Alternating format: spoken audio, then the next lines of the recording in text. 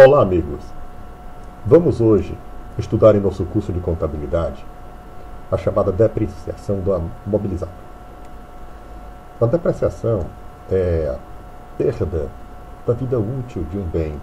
A gente compra um automóvel, vai usando o automóvel, vai ficando mais velho, vai ficando desgastado, com menor valor de revenda, necessitando de mais manutenção. A depreciação contábil ela será vista na aula de hoje por meio de um exemplo prático. Né? Vamos supor o seguinte, que a gente comprou, a gente comprou um terreno e construiu uma fábrica, né?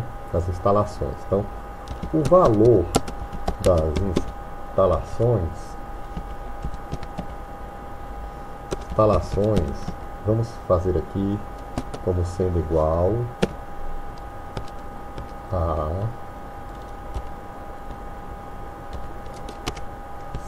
100 mil reais. 100 mil reais, perfeito? 100 mil reais. Então é o seguinte, normalmente as instalações elas têm uma depreciação contábil de 4% ao ano, certo? Então, depreciação, depreciação de 4%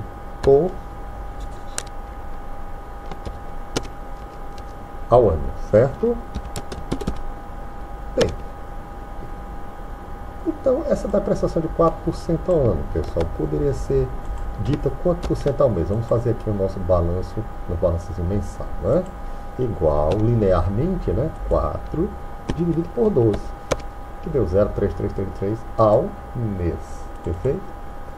Então, vamos construir aqui nossa tabela de depreciação tabela de depreciação mensal. Perfeito? Vamos colocar aqui o mês, né? Perfeito. O mês, né? Vamos começar com o mês zero. Foi exatamente a gente terminou da conta, né? Estamos aqui no mês zero. Mas, para todos os efeitos, né? No mês zero nós vamos ter o seguinte. Perfeito? Vamos supor que aqui é o saldo inicial, saldo inicial. Aqui nós teremos depreciação, depreciação. Vamos chamar aqui de depreciação mensal, certo? E aqui a depreciação acumulada, certo? E aqui seria o saldo final. Todos esses valores aqui, né? Nós temos em reais, certo? Em reais. Perfeito. Então, não, mês zero, o saldo inicial era zero, né?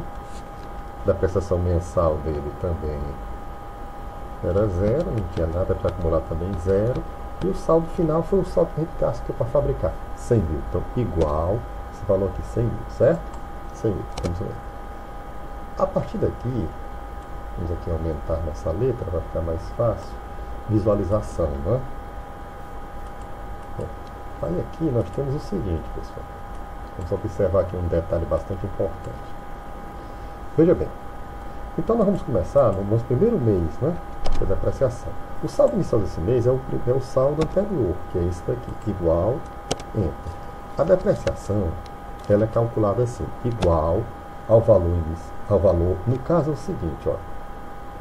Como é, é linear, sempre o saldo inicial vai ser igual ao saldo que está lá no final, certo? Que é o saldo inicial. Então vai ser igual a este valor aqui vezes 0,33%. Damos um enter. Deu 33 mil, mas só que nós devemos dividir por 100, né? Porque é 0,333%. Dividir por 100. Evidentemente que nós estamos calculando aqui a depreciação por mês, mas poderia ser a depreciação diária dividida por 30 no mês comercial, né? A depreciação acumulada vai ser igual a essa mesma depreciação aqui, porque é a única que existe. E o saldo final vai ser igual aqui vai ser o saldo aqui que é o saldo anterior, menos né, esse saldo da prestação acumulada, que foi isso. Ficou 99.666,67. Então agora vamos aqui puxar, ó, mês 2, né? Mas cá, como a nossa depressão linear, então isso aqui sempre vai ser igual a esse saldo anterior inicial. Sempre. Perfeito? Aí aqui, a depreciação mensal, olha, quanto é que vai ser? Podemos Ctrl C, Ctrl V, copiamos. Só um instante.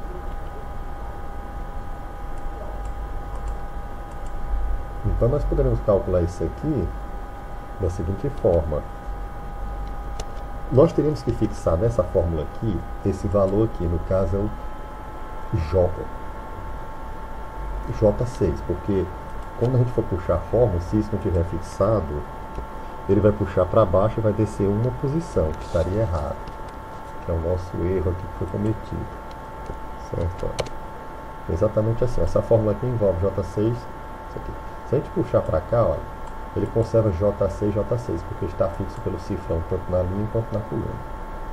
E o que é a depreciação acumulada? É igual a depreciação acumulada anterior, que é essa, mais a que houve no período, que é essa daqui. Perfeito. Só que, no caso, vamos puxar essa fórmula para cá, para ela ficar alinhada aqui, certo? Vamos fazer de novo. Igual essa daqui mais esta daqui. E o saldo final, né, o que é que seria? Ó, 99 mil. Mas pessoal, se nós formos pegar em 4% ao ano, né? 4% ao ano, então, olha, igual, nós temos o quê? 100%, né? 100% dividido por 4% ao ano, eu vou precisar de, de quanto tempo para depreciar totalmente?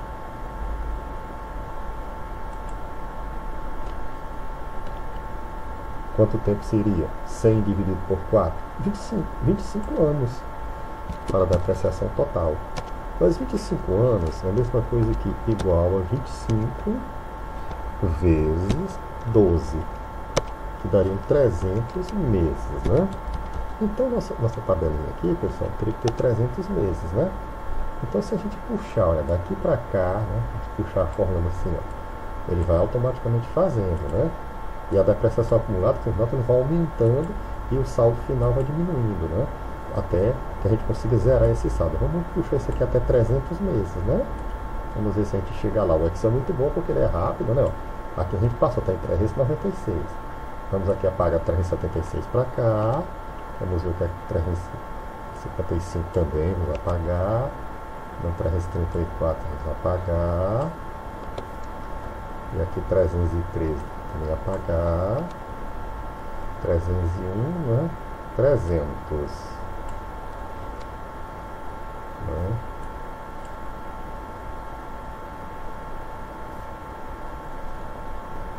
Vamos voltar aqui. O que é que aconteceu com a nossa fórmula, né? 88, 88, 333, 0 em 24, em 25, fechando aqui, vamos ver aqui 333, 333 vai dar 1000, 98 mil, e fomos indo, fomos indo, vamos indo. Vamos ver aqui. F2. 33 vezes cem mil. 333.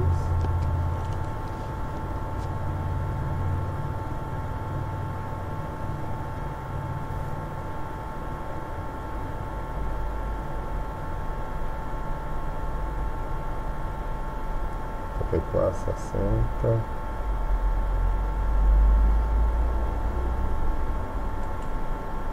Então aqui, ó. Vamos ajustar aqui.